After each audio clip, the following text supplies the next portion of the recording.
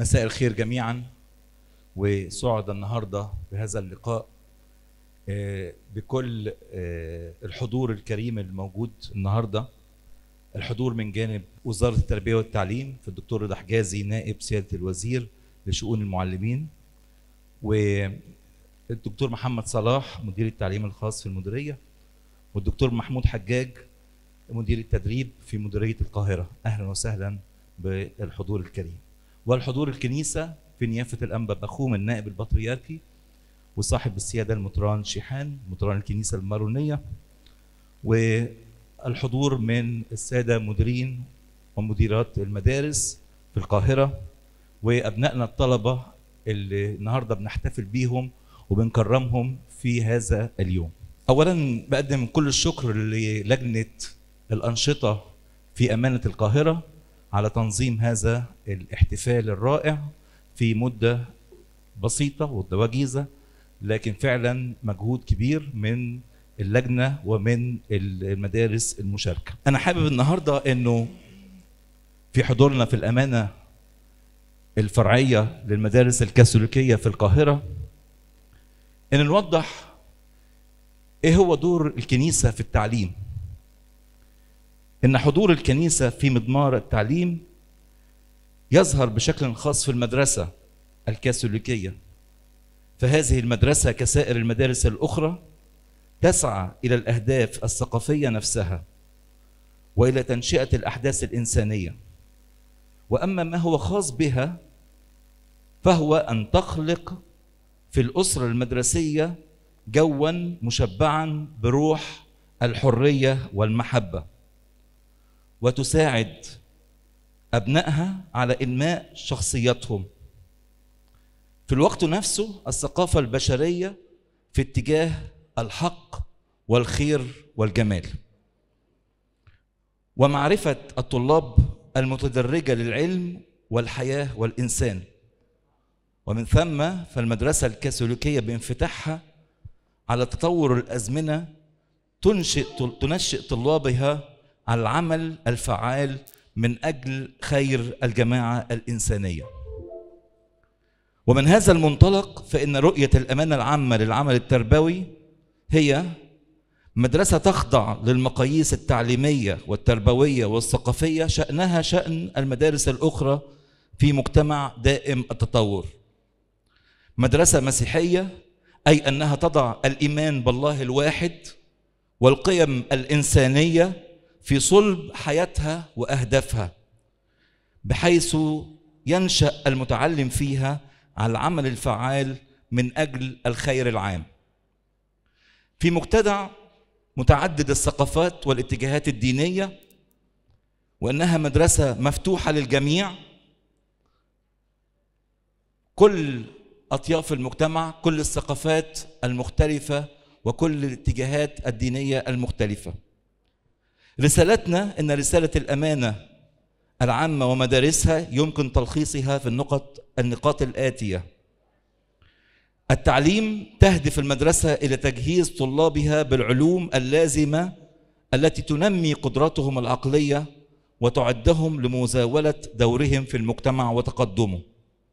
التربية لا يفصل التعليم التعلم عن التربية التي تعمل على تنمية شخصية الطالب الطلاب بحيث يكونوا أصحاب تحليل وفهم وتقويم ونقد وخيار وقرار وقرار وعمل.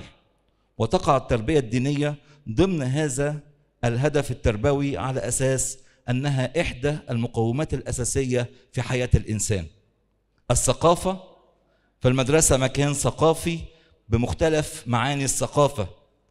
فهي تضع طلابها على صلة بالموروث الثقافي للإنسانية وللمجتمع الذي تعيش فيه. وتطور رؤية للعلاقة بين الإيمان والثقافة وتعمل على اكتشاف مواهب الطلاب الثقافية كما تعمل على تطوير أنماط السلوك وتفكير تساعد على الإنسان تساعد الإنسان على بلوره ثقافه إنسانية رفيعة في المجتمع المحلي في شتى مجالات الحياة. التنشئة الشاملة فتسعى المدرسة إلى تنمية جميع نواحي الحياة الإنسانية الذهنية والعاطفية والنفسية والجسدية والإبداعية والأخلاقية والروحية والدينية. إن رؤية التربية والتعليم في مدارسنا تنظر الكنيسة إلى الإنسان كما ينظر إليه خالقه فهو كائن مادي ونفسي وروحي. والمستوى الأسمى فيه هو الروح. إنه مشروع إلهي لذلك تقتضي تنشئة كاملة للشخص البشري وأن تنمي في الأشخاص الطوق المتأصل فيهم إلى الله. فالمعرفة دربنا إلى الله لأن الخليقه بأسرها وتطوراتها والتقدم العلمي المستمر والاكتشافات الحديثة المذهلة وسائر مستجدات التاريخ تشكل كلها جزءا لا يتجسد من التدبير الإلهي الرامي إلى إعطائنا الحياة الأبدية وهي أن نعرف الله. لقد جاء هذا النص تجاوبا مع ما يدعو إليه دوما مجلس البطارقة والأساقفة الكاثوليك في مصر.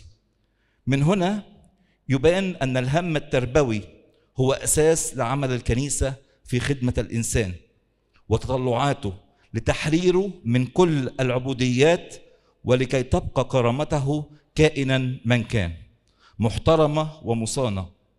ومدارسنا الكاثوليكية ملتزمة هذا التوجه وساعية لتحقيقه بالرغم من كل التحديات ومن كل المخاوف وعولمة العنف وثقافة الإرهاب والانقسامات بين الجماعات. ولنا من نص المجمع الفاتيكاني الثاني بيان في التربية المسيحية شهادة على اهتمام الكنيسة بحياة الإنسان بأكملها حتى حياته الدنيوية على قدر ما هي مرتبطة بديمومته الفائقة الطبيعية. إن أساس رسالتنا التربوية أن نكون إلى جانب كل إنسان وبخاصة الشبيبة.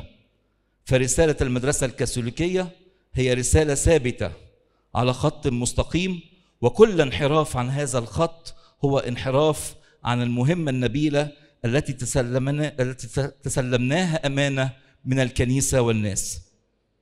وإن كنا نقف اليوم في هذا الحفل ففي كل مدارسنا نصلي معا تمجيدا لله والتزاما بخدمة كل إنسان نسعى لتكون لنا مبادرات جديدة لنقدم أوسع وأعمق ما يمكن من معرفة وتربية متطلبة ومتطلبة مثابره على الحرية الإنسانية الحقة كما يقول قداسة البابا يوحنا بولس الثاني في رجاء جديد للعالم.